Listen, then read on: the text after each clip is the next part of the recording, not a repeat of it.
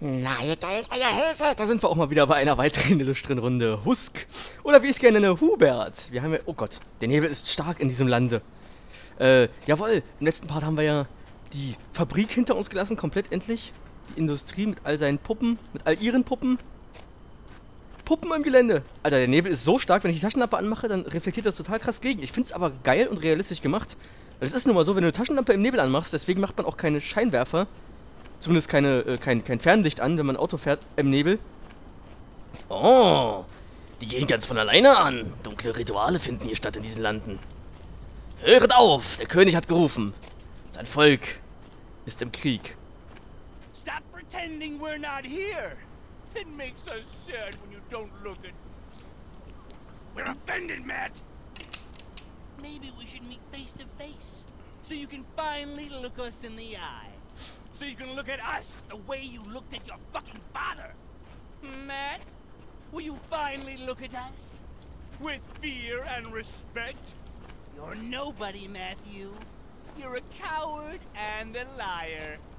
You're not worthy of your family. You shouldn't wake up next to them every morning. You should just lay down and die. Go ahead, Matt. Go ahead. Do us that favor. Go kill yourself. Come to us. We want to finally explain everything to you.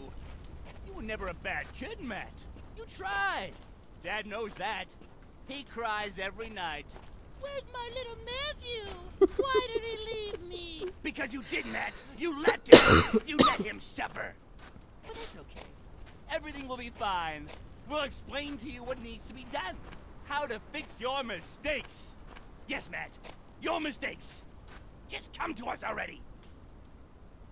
Okay, es hängt kurz. Es hängt. Spiel. Ich mag nicht, wenn du hängst. Das passiert dir öfter mal. Gerne. Kann das sein? Kann das ist? Spiel. Jawohl, perfekt. Es hört auf. Immer an diesen kurzen Ladeüberbrückungen. Alles klar, äh, wir haben da Flashbacks. Ich weiß gar nicht, wer das eigentlich ist, der dazu uns spricht andauernd. Ist das irgendeine unterbewusste Stimme zu uns selbst? Ich habe das noch nicht genau herausgefunden oder ich habe es an der Stelle, wo es das erste Mal auftauchte, an dem Haus, Verpasst. Eieiei. Aber was ist das hier? Das sieht aus wie so ein, wie so ein, wie so ein alter Wikingerplatz, wo welche Menschen geopfert wurden, aber die hatten noch keine, keine Metallfässer. So Opferrituale im Wikingerzeitalter. Gab's ja öfter mal. Wer die Serie Vikings kennt, weiß, was ich meine, wo sie auf den Hügel waren, um den äh, einen zu opfern und sowas. Oder sich Pilze eingeschmissen hat. Das sah relativ identisch aus. Identisch vor allem. Schaschlik. Schaschlik zum Frühstück. Ja, lecker. Aber ich muss ja sagen, wie gesagt, atmosphärisch ist das Spiel definitiv ein richtig geiler Knüller. Ist jetzt nicht der Horror-Überhit, weil der Horror selbst ist... Also die Horror-Elemente, die vorkommen, sind nicht am besten umgesetzt, muss man mal zugestehen. Aber atmosphärisch hat das Spiel schon so seine definitiven Stärken. Wie gesagt, ich kann nicht verstehen, wie Leute behaupten, nach einer halben Stunde haben sie ausgemacht. Mich interessiert das Spiel doch einfach viel zu sehr. Okay. Der einsame Wanderer aus den Bergen. Um aufzustehen, halte W. Wä? Wä? Wä? Jetzt renn! Renn! Digga, Digga, Digga, renn! Abholen! Nimm die Muni mit! Nimm die Muni mit! Nimm noch mehr Muni mit! Wo ist er hin? Der Obdachlose kommt! Verprügelt uns! Schieß doch! Jürgen! Was machst du denn? Jetzt schieß doch mal dem Endboss ins Gesicht. Der stirbt ja aber auch einfach nicht, wa? Er haut, er haut in der Regel immer voll daneben, wie ihr seht. Und trifft mich trotzdem. Was ein Otto. Oh, was bist du für ein Otto? Digga. Jetzt hau doch mal rein. Wie kann man sich nur so hart gönnen? Komm schon. Alter Schwede, ey. Ein sehr seltsamer Bossfight, muss ich gestehen. Habe ich so auch noch nicht erlebt. Habe ich so auch noch nicht erlebt.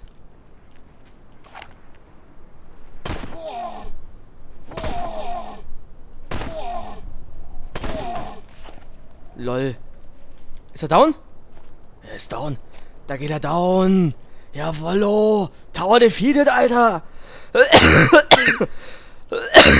Jetzt habe ich mich gerade verschluckt an meinem eigenen Sprech.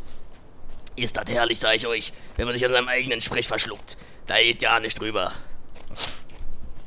Oh, wow, wow. Erstmal auf jeden Fall Muni sammeln. Jetzt können wir ja wieder, jetzt ist ja unsere Waffe endlich trocken.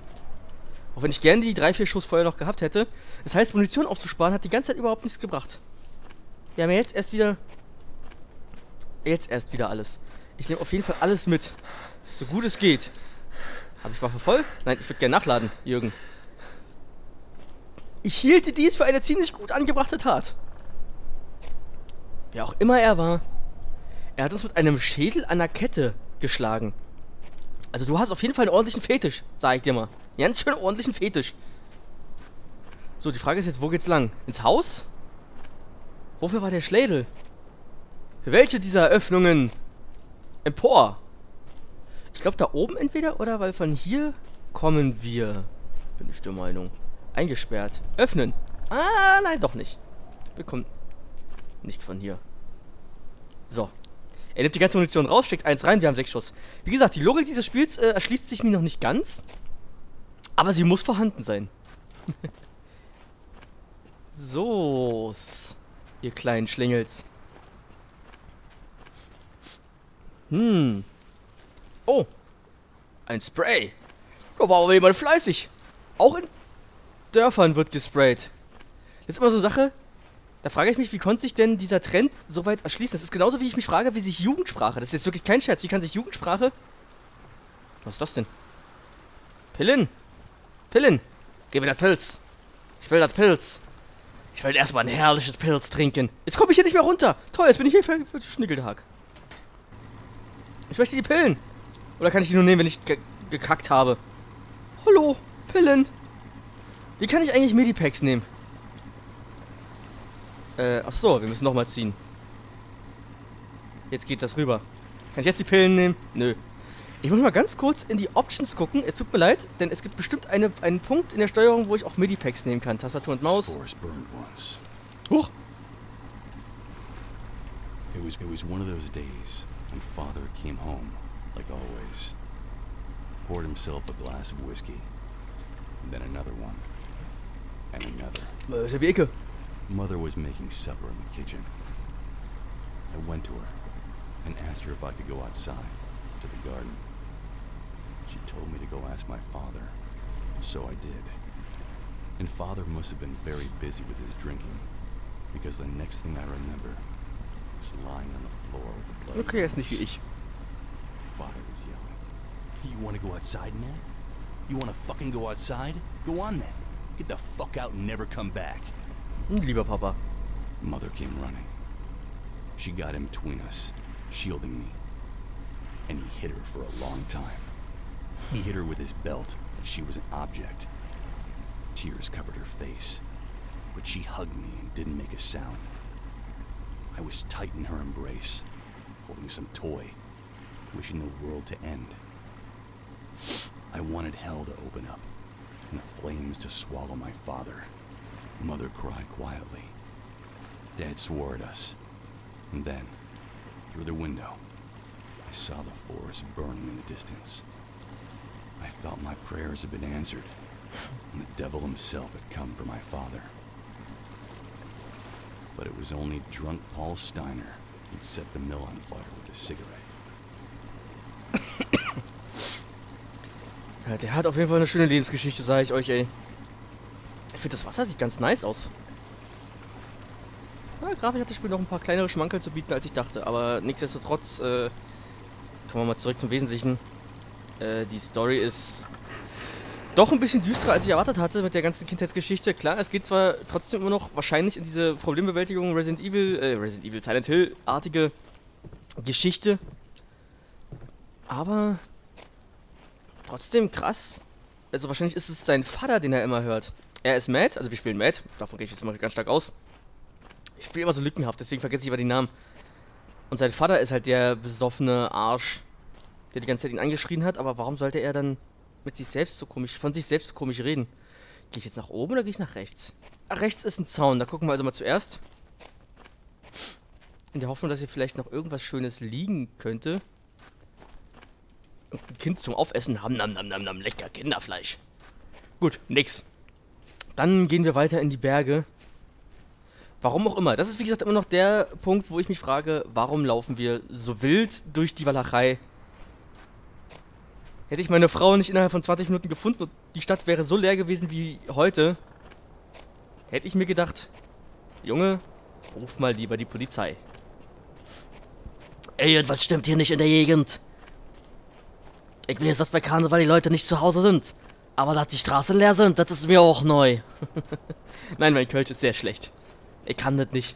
Ich bin ja eigentlich Berliner, weißt du? Ich kann nur Berliner, aber ohne ja nicht mehr so gut. Ich hab auch verlernt. Ich quatsch nur ab und zu mal aus Dafke so. Ach, was ist das herrlich. Erstmal Licht ausmachen. Licht an, Licht aus. Okay. oh Gott, mir klärt die Nase. Oh, ich weiß nicht, ob ihr das habt.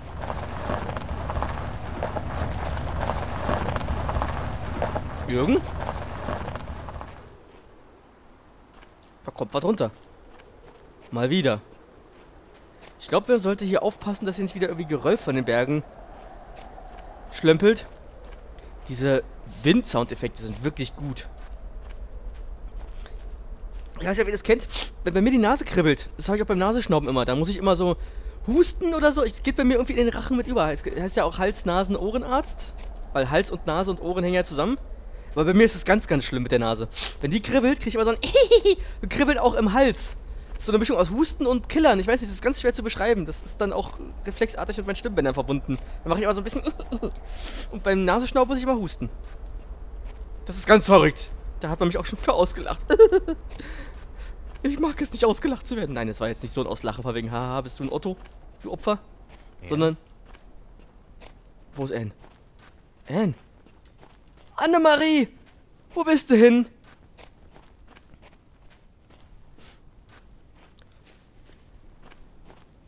Oh, ein Haus mit Spiel. Ja, ich hab's nämlich nicht gesehen, du Wurstkopf. Wir kommen langsam wieder Richtung Zivilisation. Was mir gefällt, es speichert.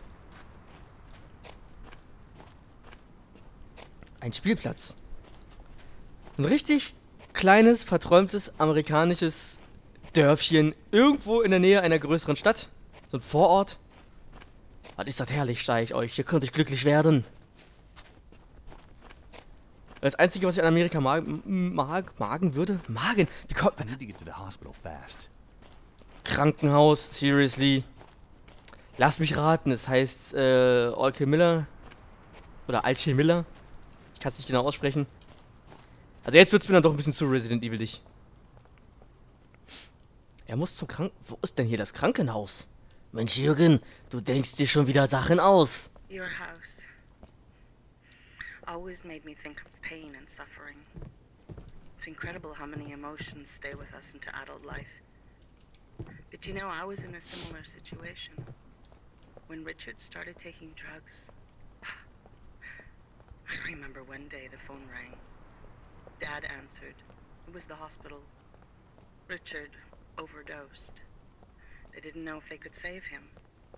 Mum prayed all night by his bed. When Rich came home, Dad, God damn it, he, you know, had this cable. He'd always tell us it was for our own good.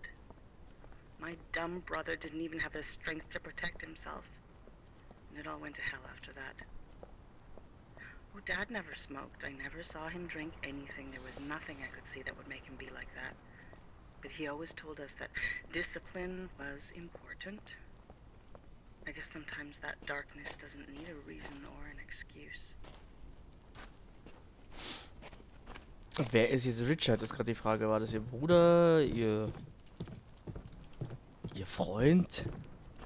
Weil wir sind ja mad.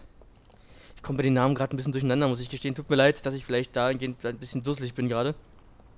Wir stellen da mal weiter durch die Stadt. Hier brennt Licht. Hier brennt überall Licht. Manche Sachen sehen so aus, als wären die gerade erst frisch verlassen worden. Da brennt sogar noch eine fucking Kerze, Mann. Oh, es geht rein. Alles klar. Alter, ist hier alles voller Mandarinen? Oder Orangen, Äpfel, was auch immer, Obst? Es ist Obst im Haus. Halt, stopp! Testbild. Oh, eine Zeitung. Text anzeigen. Liebe Mrs. Libby, ich möchte Ihnen ehrlich danken für all die Hilfe, die Sie mir diese Zeit schwierige Zeit äh, haben zukommen lassen. Vor allem angesichts der Tatsache, dass Sie es selbst nicht einfach haben. Ich bin extrem dankbar und ich hoffe, dass die Blumen, die ich geschickt habe, dies zumindest im kleinen Rahmen zeigen. Libby, ich würde Sie gerne um einen weiteren kleinen Gefallen bitten. Falls mein Sohn mit seiner Familie vor Ihrem Haus auftauchen sollte, sagen Sie ihm bitte nicht, dass ich ihn als Spender haben möchte. Wie Sie wissen, ist unsere Beziehung nicht die beste und ich wollte persönlich mit Ihnen darüber reden. Wenn er von jemand anderem davon erfahren würde, könnte er denken, dass dies der Hauptgrund war, warum er herkommen sollte. Wir beide wissen, dass das nicht der Fall ist. Richtig, Libby? Ich möchte, dass Sie sich daran erinnern. Also bitte lesen Sie bitte ein weiteres Mal. Äh, angesichts Ihrer Alzheimer-Erkrankung bin ich überzeugt, dass Sie unnötigerweise anfangen werden, ihn voll zu plappern. Vertrauen Sie mir, Libby. Wir wollen um unser beider Willen nicht, dass Sie mit dem Plappern anfangen. So wie wir uns beide daran erinnern, dass Rons Verschwinden nicht Ihre Schuld gewesen ist. Fühlen Sie sich umarmt. Howard. Wer auch immer jetzt Libby. Alter! Willst du mich? O, M, F, Roffelkopter. Das ist jetzt nicht dein Ernstspiel. Das ist jetzt nicht dein Ernst. Warum ist auf einmal dieses Haus so abgeranzt? Geh mir nicht auf den Keks, Alter. Wow. Es ist dieses... Okay, hier schwebt was. Ich kann es nicht lesen, weil, äh mir der Textanzeigen verwehrt wird. Hierfür gibt es leider keine Übersetzung. Es tut mir leid, Leute. Und diese Schmierschrift konnte ich leider nicht ganz entziffern. Sonst hätte ich versucht, auf Englisch zu lesen. Es war klar, dass es klingelt. Es war so klar. So much time has passed since the accident, and you're not showing any signs of life. I know things aren't good between you and Mom. She. I saw her crying the last time when you. you had too much to drink and you guys fought. You know. She always tells me it's grown up stuff and I shouldn't worry about it. But I can't just stand by when I see you're having problems. I love you, and I need you. Alles klärchen. Langsam werde ich verwirrt von den ganzen verschiedenen Telefonanrufen und Personen, über die es geht. Also, ich kann mich auf die, Hauptkonze- auf die Hauptstory konzentrieren, dass Matty einen dummen Vater hatte, das äh, kriege ich noch hin. mein Gott. Manchmal erzählen sich die Sachen aber auch über verschiedene Zeiträume zu schlecht. Es wäre jetzt was, wenn ich das Spiel am Stück durchgespielt hätte, hätte ich wahrscheinlich eher verstanden. Ist meine eigene Schuld, muss ich eingestehen. Dass ich da doch ein bisschen mich zu wenig mit befasst habe mit der Hintergrundstory jetzt gerade im Augenblick, beziehungsweise äh, zu viele Lücken bei der Aufnahme habe. Äh, ach ja, das war ja der Anfangsdings. Er wollte ja zum Hospital, weil er dachte, nach einem Unfall werden die alle dahin gebracht. Das war die Ursache. Äh, ja. Perfekter Übergang. So schafft man Ambiente-Entwickler. Matt, Matt, Matt. You naive fucking brat. You thought that'd be the end. You thought you'd meet with our good old friend and it would all be over. You thought you'd get off the hook so easily. That we're as naive as your poor, stupid Ellen. Maybe you thought you'd hit us in the face and we'd shut up. Matt, understand this already. This is not the end. This is barely the beginning. We're coming. Alles klar. Jetzt sind wir drin. Where is everybody? Ja. Alter, was ist das für ein Sound? Warum hört er nicht auf? Das ist nicht gesund, Leute. Das ist definitiv nicht gesund. So laut sollte das hier nicht sein. Davon gehe ich mal aus. Aber wir sind jetzt endlich im Krankenhaus angekommen. Ab hier wird es dann wieder etwas spannender. Und ich muss jetzt leider erstmal den Part beenden, weil mir geht die Lautstärke auf den Sack. Wir sehen uns dann auf jeden Fall im nächsten Part hoffentlich mit weniger lautem Getöse. Bis hierhin gefällt es mir auf jeden Fall ganz gut. Ich bin gespannt. Das Krankenhaus wird bestimmt wieder den einen oder anderen Grusel mit reinbringen. Auf jeden Fall sehen wir uns im nächsten Part. Auf dann auf bald. Auf Wiedersehen. Tschüssikowski. Bla bla bla bla bla.